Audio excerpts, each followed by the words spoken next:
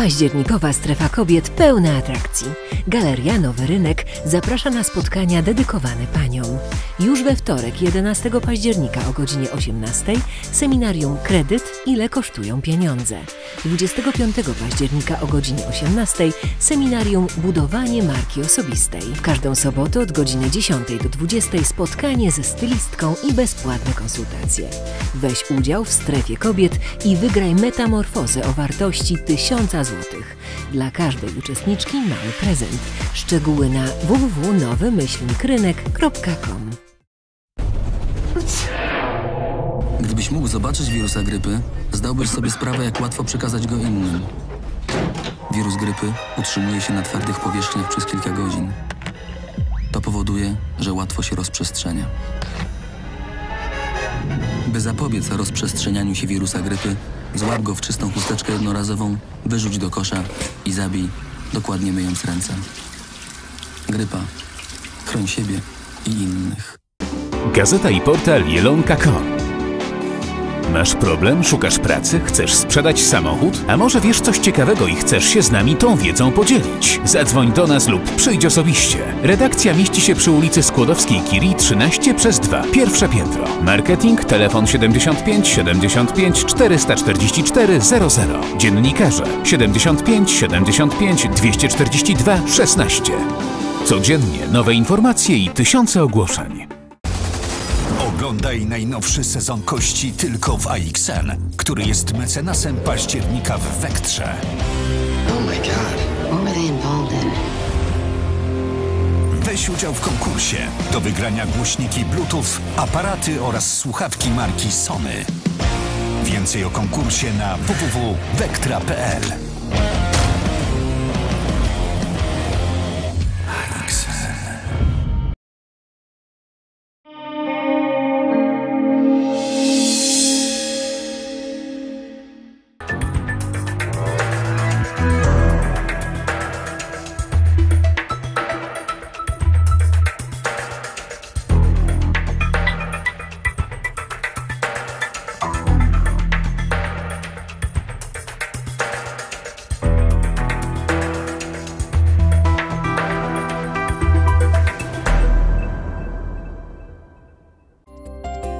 Kontrowersyjny pomysł klubu radnych Prawa i Sprawiedliwości. nie zrobili żadnego wysiłku intelektualnego, żeby wyliczyć jakieś koszty. Liczy Rzepy 2016 rozdane. Możemy teraz Wam spokojnie powiedzieć, mam w sobie ducha góry. Wybory władz oddziału Polskiego Towarzystwa Walki z Kalectwem. Towarzystwo Walki z Kalectwem liczy 300 osób. Dziesiąty dzień października. Paweł Guszała, witam, zapraszam na serwis informacyjny. W miejskiej debacie pojawił się nowy gorący temat. Jest nim projekt uchwały Klubu Radnych Prawa i Sprawiedliwości dotyczący stawek czynszów za mieszkania komunalne. Czego dokładnie dotyczy i dlaczego rodzi tyle emocji? O tym już za chwilę. Projekt uchwały Oliwiera Kubickiego, radnego Prawa i Sprawiedliwości, ma dwa oblicza. Pierwsze to obniżka stawek czynszów dla mieszkańców lokali komunalnych nieposiadających piece gazowe. Jednak zdaniem władz miasta pomysł ten posiada drugie dno, a są nim koszta, jakie może generować projekt uchwały Prawa i Sprawiedliwości. Pojawił się taki projekt uchwały, e, który obniży czynsze dla części mieszkańców Jeleniej Góry, tych, którzy mieszkają w mieszkaniach komunalnych, tych szczególnie, którzy mieszkają w tych mieszkaniach, które są w najgorszym standardzie. I pan Oliver Kubicki proponuje radykalne podniesienie wysokości czynszów za lokale z centralnym ogrzewaniem. Chciałem powiedzieć, że w XXI wieku centralne ogrzewanie powinno być standardem, jeszcze nie jest. Poza tym, jeżeli walczymy z y, niską emisją, to podnoszenie jest dla mnie absurdem. Projekt uchwały Prawa i Sprawiedliwości nie wszedł do porządku obrad na ostatniej sesji Rady Miejskiej. Skierowany został do Komisji Gospodarki Komunalnej. Dzisiaj odbyło się spotkanie w tej sprawie. Na ten moment y, nie chcę, czy nie mam jeszcze możliwości oceny tego projektu całkowicie, z tego względu, że nie znam y, skutków finansowych, jakie y, spowodują te zmiany. Nie zrobili żadnego wysiłku intelektualnego, żeby wyliczyć jakieś koszty. Y, Jeżeli ten plan ich polega na tym, żeby zmusić nas do obniżki, no to chciałem powiedzieć, że powinni wskazać 4,5 miliona złotych, które mieszkańcy Jeleniej Góry swoich podatków przeznaczą na 10% mieszkań. Moim zdaniem to jakiś absurd. Jutro o godzinie 10 na wniosek grupy radnych zwołana zostanie nadzwyczajna sesja Rady Miejskiej. Głównym, a zarazem jedynym punktem obrad będzie projekt uchwały Prawa i Sprawiedliwości. O tym, jak gorący jest to temat, świadczyć może fakt, że wcześniej o godzinie 9.30 prezydent miasta Marcin Zawiła postanowił zwołać konferencję prasową. Więcej powiemy w jutrzejszym serwisie informacyjnym. Rozdano liczy rzepy 2016, czyli nagrody starosty Jeleniogórskiego. 19. edycja spotkań turystycznych odbyła się w Karpaczu. W uroczystej gali udział wzięły władze lokalne oraz samorządowe. Nie zabrakło także prezesa Polskiej Organizacji Turystycznej.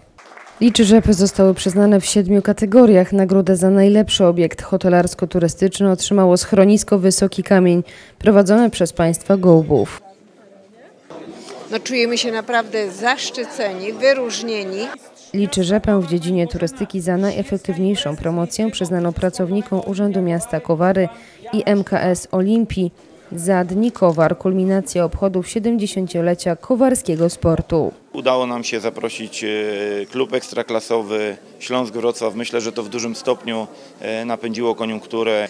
Jak zapewne Państwu wiadomo, nasza Olimpia uzyskała awans do trzeciej ligi. No jest to duży sukces, ale też duże wyzwanie.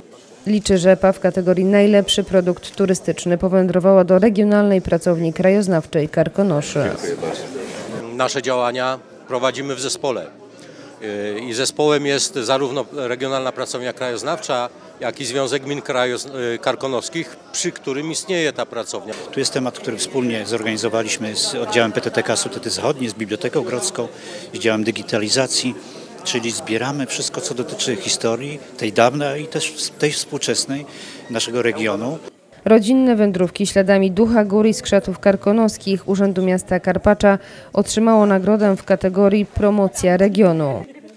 Ta oferta, którą stworzyliśmy, Rodziny Wędrówki, wykorzystuje to, co najcenniejsze, lokalne zasoby i tradycje regionu.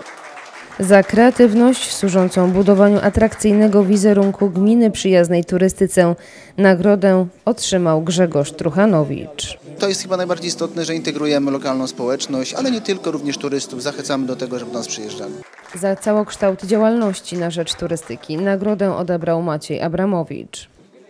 Sukces przewodnika to przede wszystkim wiedza i umiejętność prowadzenia y, tych grup turystycznych, ponieważ no, wiedza przewodnika jest dosyć y, duża. Za najlepszą promocję zagraniczną uhonorowano starostę Związku Miast Aachen Helmuta Trzenberga i radnego Aksela Hartmana. Możemy teraz Wam spokojnie powiedzieć, mam w sobie ducha gór. Cieszy to, że co roku e, kandydatur z gmin spływa coraz więcej. To znaczy, że w tych gminach pojawia się coraz więcej osób, które działają e, nie tylko zawodowo, ale, ale przede wszystkim społecznie, z chęci propagowania piękna naszego regionu. Wszystkim laureatom życzymy dalszych sukcesów w dziedzinie turystyki oraz promocji marki Karkonosza. Hotelu Cieplice odbył się dziewiąty zjazd delegatów oddziału terenowego Polskiego Towarzystwa Walki z Kalectwem w Jeleniej Górze. Podczas obrad m.in. wybrane zostały nowe władze oraz określono cele na najbliższe lata. Polskie Towarzystwo Walki z Kalectwem powstało w 1960 roku, zatem jest to jedna z najstarszych organizacji pozarządowych w kraju. Jej celem w skrócie jest działanie na rzecz osób niepełnosprawnych i ich rodzin.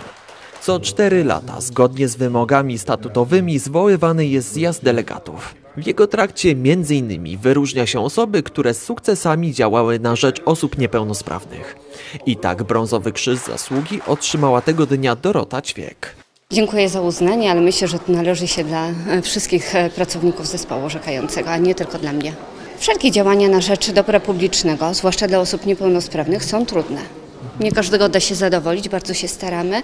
Różnie to wychodzi, ale mamy nadzieję, że dobrze wykonujemy swoje obowiązki. Następnie będą złote odznaki dla osób wyróżniających się za pracę na rzecz osób niepełnosprawnych, będą szkarłatne serca, no i będą statuetki Nike dla tych osób, które się najbardziej wyróżniły w pracy na rzecz osób niepełnosprawnych, rehabilitacji zawodowej, społecznej trakcie zjazdu delegatów dokonano podsumowania tego, co udało się zrobić w przeciągu ostatnich czterech lat oraz określono cele na najbliższe lata.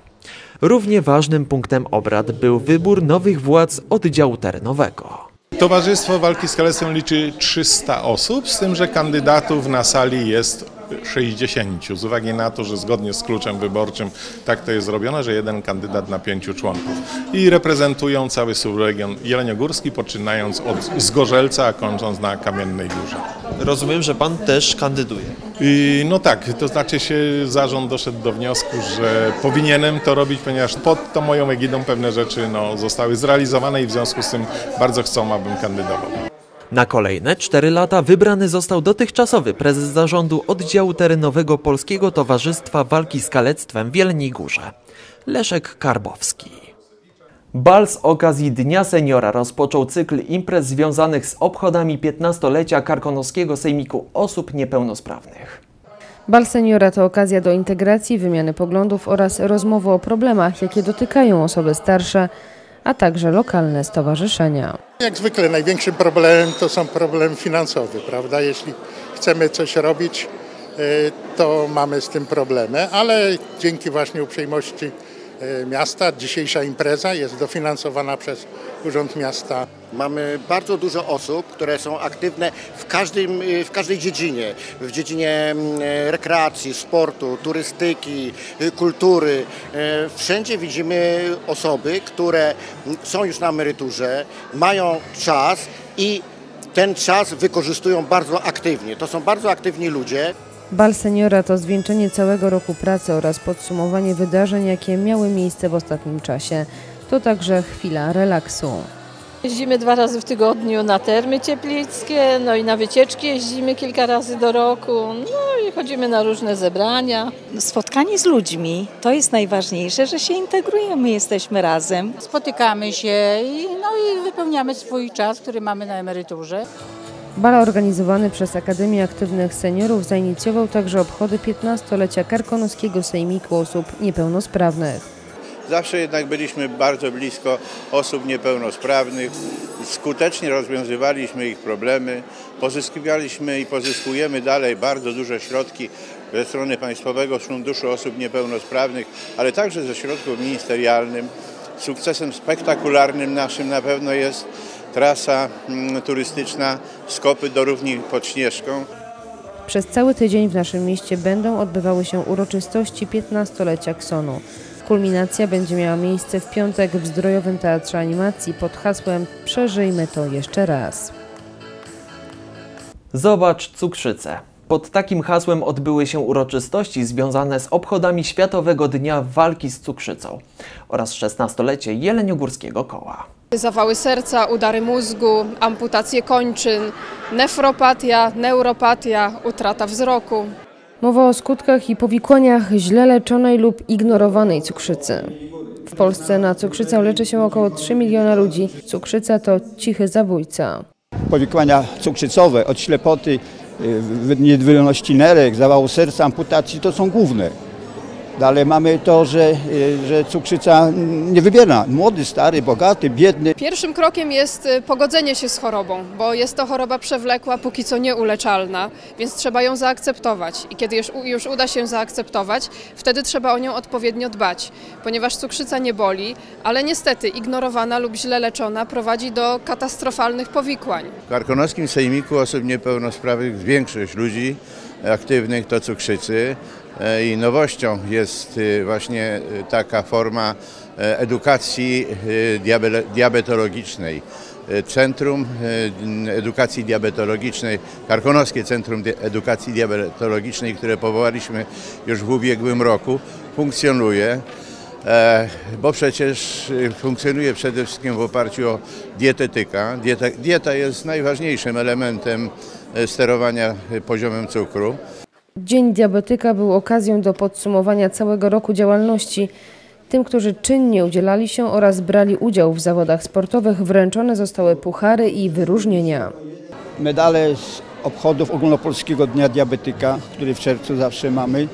Mamy następnie medale 35-lecia y, Polskiego Stowarzyszenia Diabetyków. To są medale dla wyróżnionych, aktywnych działaczy, może wolontariuszy inaczej. Ludzi, którzy chętnie udzielają się pracy poszczególnych kół. Jest dużo wymiany po prostu doświadczeń, dużo się dowiadujemy od naczelnych y, władz. Z cukrzycą można żyć aktywnie, choć jest to choroba przewlekła, która wymaga odpowiedniego leczenia pod kontrolą lekarza.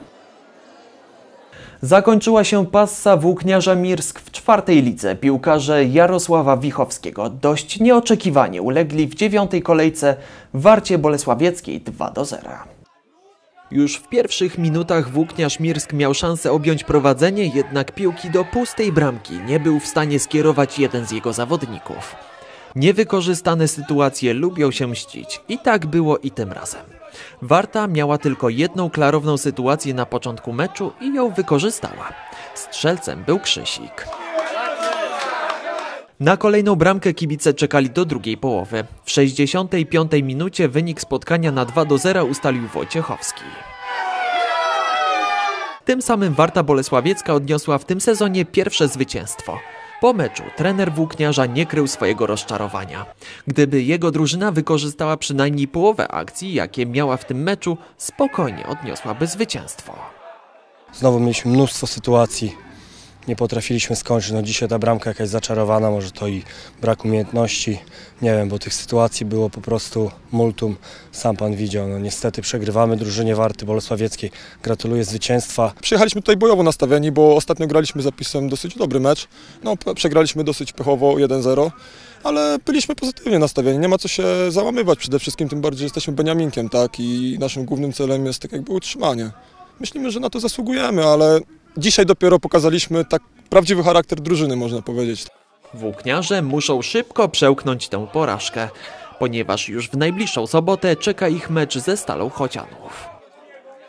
Wiadomością sportową kończymy serwis informacyjny. Dziękuję za uwagę. Zapraszam Państwa na prognozę pogody oraz konkurs telewizji Dami. Do zobaczenia.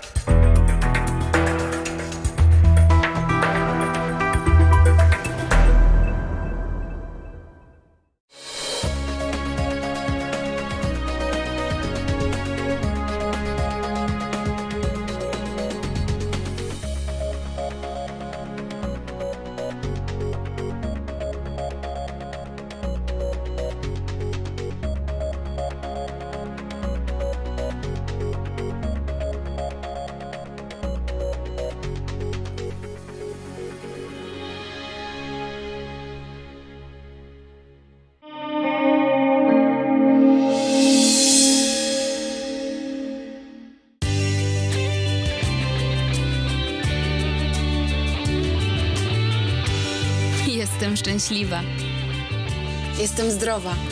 Ale wiem, że zdrowie bywa ulotne, niczym balonik.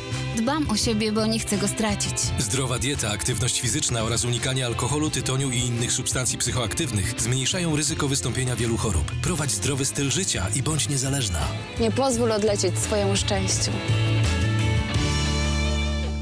Hotel Tango zaprasza na noclegi, imprezy okolicznościowe oraz integracyjne. Organizujemy off-roadowe imprezy integracyjne z wykorzystaniem aut terenowych, pikniki firmowe, wieczory tematyczne. Zapraszamy także na widowiskowe loty balonem. Pięknie położony Hotel Tango stanowi idealną bazę wypoczynkową do aktywności fizycznej, jaką oferuje nasz region. Trasy narciarskie, rowerowe, piesze, spływy kajakowe, jazda konna. Zapraszamy do zapoznania się z naszą ofertą. Tegoroczne trendy jesienne to ciepłe i naturalne barwy. Metaliczne kolory, zwłaszcza odcienie miedzi i złota, są bestsellerem. We wnętrzach ceniona jest prostota w połączeniu z wyrafinowanymi dodatkami. Liczy się także jakość. Stylową jesienną kolekcję oferuje salon Grena przy ulicy Jasnej w Jeleniej Górze. Do każdej kołdry puchowej Jasiek gratis. Wyprzedaż kolekcji letniej.